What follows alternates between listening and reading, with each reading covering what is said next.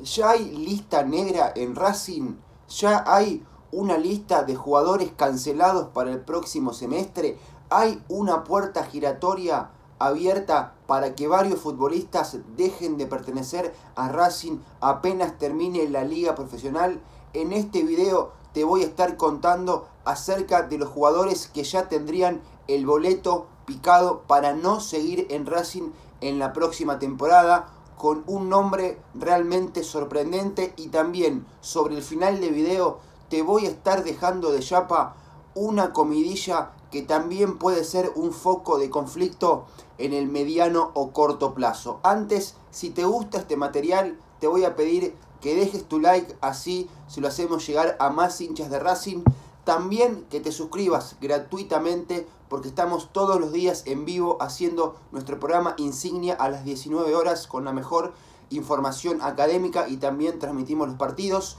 Y por último, aquí abajo hay un botón de pago por si lo que querés es dejarnos una ayuda o un cafecito que nos da una mano enorme para seguir gestionando esta hermosa comunidad. Sin más preámbulos, vamos a pasar a hablar del tema que más nos ocupa en este video, que es la futura conformación del plantel de Racing y los jugadores que ya estarían cancelados para el segundo semestre.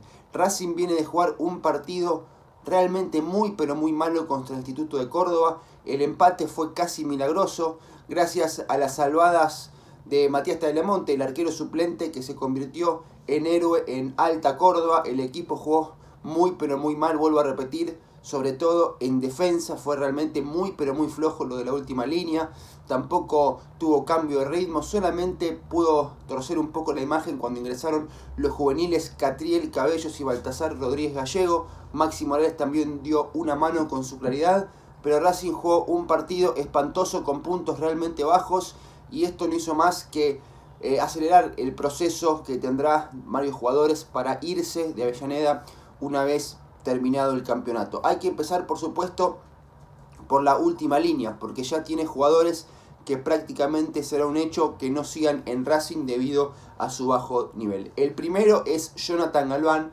que tiene contrato hasta fin de año, pero todo indica que lo podría rescindir a mitad de temporada para dejar de pertenecer a Racing. Contra Instituto tuvo quizás una de sus últimas chances o su última gran chance de tener alguna mínima esperanza de poder mantenerse en el plantel. ¿Por qué digo esto? Porque había ingresado medianamente bien contra Flamengo, se desgarró Sigali y Galván entonces tuvo minutos contra Instituto. Jugó otra vez realmente mal, pierde en el gol de Martínez, lo anticipan en el área chica, nada puede hacer Tagliamonte y de allí que la academia arrancó perdiendo. El problema máximo es que no hay otro jugador capaz de jugar de primer marcador central.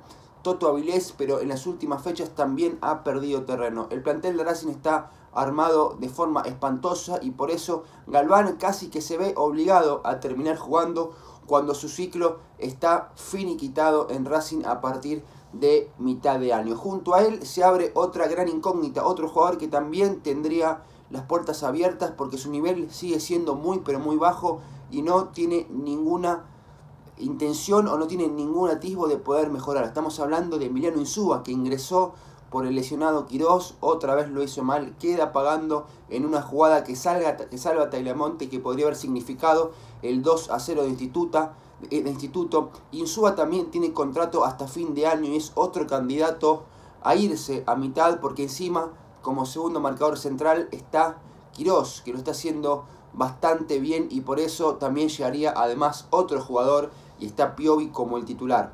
Galván e Insúa son las dos fijas para terminar yéndose de Racing seis meses antes y están delante de todo en esta hilera esperando que se pueda traspasar la puerta de salida. Claro que adelante hay alguien que ya tiene reservada la primera fila, que ya está ahí a las gateras esperando que lo dejen partir de Racing para no volver nunca, pero nunca más. Claro, estamos hablando de Edwin Cardona, que también será la baja, la, primera baja, quizá la principal en cuanto a nombre, no en cuanto a rendimiento. Ya está todo dado para que el colombiano deje de ser jugador de Racing. Habrá que ver las formas, si es a préstamo, si, recibe, si rescinde su contrato. No creo que nadie lo compre. Lo cierto es que Cardona será también baja importante, baja de renombre, pero baja que no rindió en ningún momento. Ya tenemos tres jugadores que integran esta lista negra. Por ahora son todos obvios, ¿no? Estamos hablando de Cardona, de Galván y de Emiliano Insúa. Hay que agregar un cuarto que es Héctor Fertoli, porque en las últimas horas nació un posible interés del Coritiba de Brasil para llevárselo a préstamo con muy poco rodaje, con muy pocos minutos, con muy pocas chances que le ha dado Fernando Gago, el ex jugador de Newells y de Talleres de Córdoba, también está en esta lista de jugadores que van a salir a mitad de año porque no serán tenidos en cuenta por el entrenador. Y ya son cuatro entonces los jugadores en esta lista negra.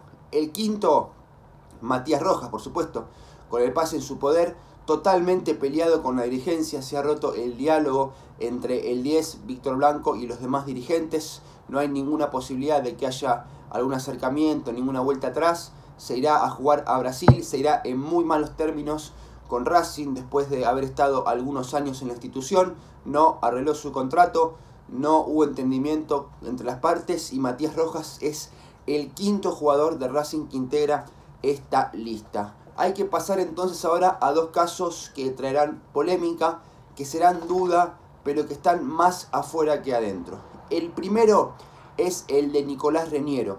Y digo que está más afuera que adentro por su situación en el plantel, porque es prácticamente un tercer delantero que tuvo muchas chances por las lesiones de los demás y no las ha tomado en ningún momento. Apenas un gol contra Boca que sirvió de poco porque el equipo perdió. La verdad que no, que no influye en la ofensiva de Racing, no genera mucho peligro, tampoco es un jugador que pueda aguantar la pelota y darle una mano a sus compañeros. La verdad que por lo mostrado aquí y por las propias intenciones del jugador, lo más sano sería que también integre la lista negra de jugadores para irse de Racing a mitad de año. Pero el nombre más fuerte, sin dudas, va a terminar siendo el de Pablo Guerrero. Pablo Guerrero puede ser el séptimo jugador en irse de Racing. Y digo eh, que podría irse de Racing por un motivo más que importante, que es que no va a tener ese lugar que él soñaba tener cuando llegó a Racing. Por rendimientos, por capacidades y por edad sobre todo, Pablo Guerrero demostró que no está para jugar tan seguido ni para ser titular en, en, un equipo tan exigente como es Racing. Tiene contrato, sin embargo, hasta fin de año. Pero hay un pero. Él llegó con un contrato por productividad, que es realmente es un sueldo muy bajo y que tiene muchos bonus y objetivos por cumplir algunas de, determinadas condiciones. ¿Habrá una cláusula de salida eh, unilateral o bilateral para mitad de año? ¿Por qué pregunto esto? Porque muchas veces cuando se arman este tipo de contratos, los clubes, como no están seguros de la capacidad del jugador, se cubren y ponen una salida anticipada a los seis meses para no alargar, el contrato del jugador.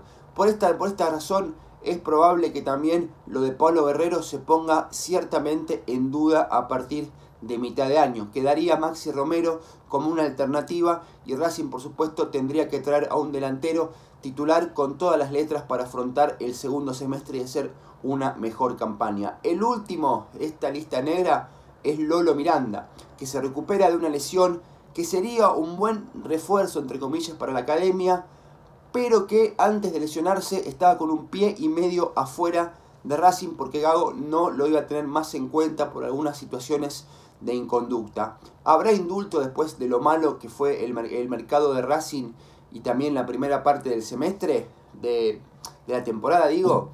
Será el tema analizar para mí. También tiene chances de irse Lolo Miranda. Entonces una lista conformada por ocho jugadores. Repasemos Galván, Insúa, Matías Rojas, Fertoli, Paolo Guerrero, Reniero, Miranda, son jugadores que podrían irse de Racing y que están en esta lista negra para lo que viene. Pero yo te dije que había una chapa, algo que puede ser un foco de conflicto y que en las próximas ediciones lo vamos a estar indagando. ¿Qué pasa con Fernando Gago? ¿Le soltaron la mano? después de lo que pasó con Matías Rojas en Paraguay, que le dijeron que lo iban a pedir para que lo tengan en cuenta y jamás hicieron ese pedido desde la dirigencia, lo están empezando a ningunear. Bueno, este tema lo vamos a estar charlando y debatiendo en las próximas emisiones de Racing Vivo y también con más información en el portal. Ahora quiero que vos me dejes aquí tu comentario y que digas ¿Qué jugador, más allá de los que nombré, debería irse de Racing? ¿Qué jugador tiene el boleto picado y cuántos jugadores deberían irse en cantidad y cuánto llegar para que Racing vuelva a ser un equipo realmente competitivo. Gracias y nos vemos aquí en el próximo video de Racing de Alma.